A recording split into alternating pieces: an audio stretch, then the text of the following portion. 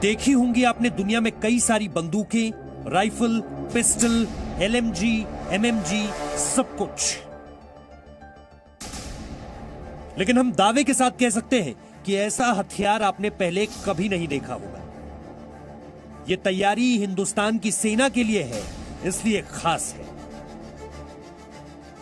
सेना की जरूरतों को ध्यान में रखकर हमारी ही सेना के इंजीनियर्स ने देश की पहली मशीन पिस्टल बनाई है। जो कारगर है, सुविधाजनक है, आधुनिक है, लेकिन इसकी सबसे बड़ी खूबी ये कि इसको बनाने में बाँस का इस्तेमाल भी किया गया है। यानी आधुनिक के साथ साथ हथियार सहज भी हो, ये भारतीय सेना के इन इंजीनियर्स की सबसे पहली प्राथमिकता है। पाकिस्तान की पहली मशीन पिस्टल है, जो 9 इंटू नाइनटीन एमिनेशन के लिए बनाई गई है। ये पूरी तरह इंडिजीनियस प्रोडक्ट है, जो इन्फेंट्री स्कूल मऊ का प्रोडक्ट है और उसे armament research development establishment Pune के साथ में बनाया गया है। ये वेपन काफ़ी लाइट वेट और मॉड्यूलर है, जैसे कि आप देख सकते हैं। और इसमें तैंतीस राउंड की मैगजीन आती है। वेपन कॉक करने में और इस्तेमाल करने में काफ़ी एर्गोनॉमिक है। इस हथियार के साथ एक रिफ्लेक्साइट आती है। हथियार की बट को फोल्ड करके इसे कैरेज के लिए काफ़ी कॉम्पैक्ट बनाया जा सकता है। इंडियन एयरफोर्स के लिए नरेंद्र मोदी सरकार ने आज बहुत बड़ा फैसला लिया है।